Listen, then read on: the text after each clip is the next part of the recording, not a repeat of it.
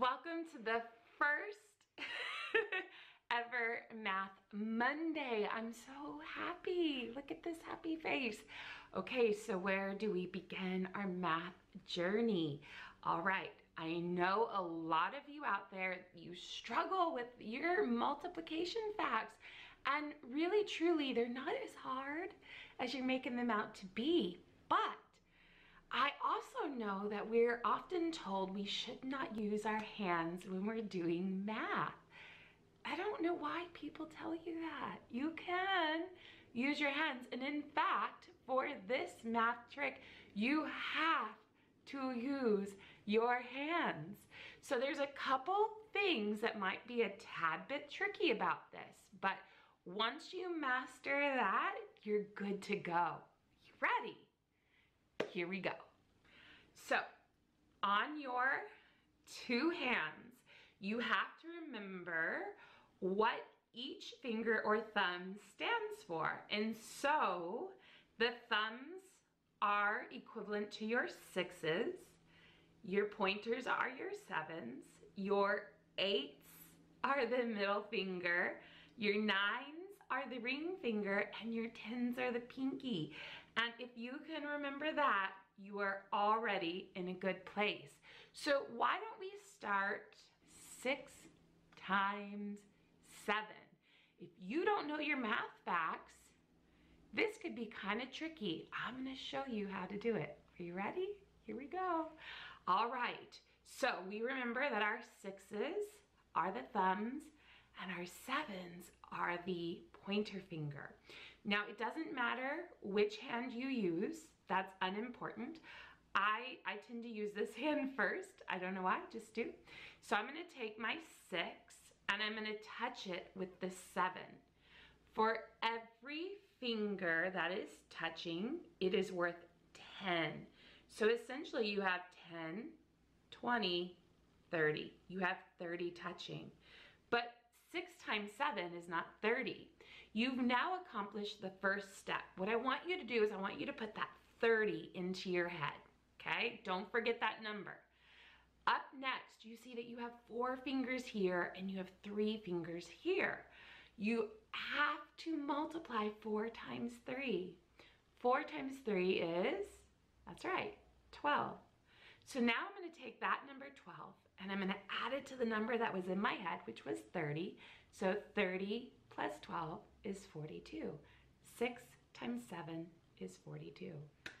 You've just multiplied those difficult numbers using your hands. All right, shall we do another one? Of course, why not? It's Math Monday. Let's try eight times eight. You first have to locate your eights. That's your middle fingers. Now, the way that this works is you're gonna take everything that falls before that eight and it's gonna come touch on the other hand, everything that falls before that eight.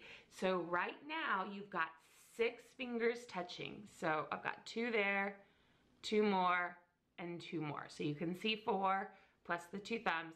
So I have six touching.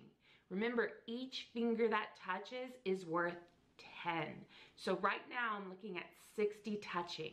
Now put that 60 into your brain. Don't forget about it. You're gonna need that in a minute. So you've got 60. Now over here you've got two and over here you have two. Two times two is four. Take that 60 out and add it to your four. So eight times eight is 64. See how simple this is? And it works for all of the numbers 6 through 10. So I know that a lot of you struggle with these numbers, but we're gonna practice one together and see if you've got it because the third time is the charm. All right, here we go. We're gonna do six times nine. All right, get your fingers ready. Now's a good time to pause this. I want you to give it a try and then unpause it and see how you did. No cheating. I know some of you are gonna cheat. Don't do it. Don't do it. Okay. By now you've had enough time to practice. Six times nine. So here we go. I'm gonna locate six. Again, it doesn't matter which hand you start on. It's kind of fun just to do that. Okay, so six times nine. Now, there's nothing in front of that six, so I have no other fingers to bring down. Remember that. But on the nine, I have a lot that go in front. So I'm gonna have to swipe all those down. So here's my nine, and I'm gonna swoop these down. When I'm thinking about this, one, two, three, four, and five. See, I've got my two thumbs and my three fingers touching. So this is equivalent of 50.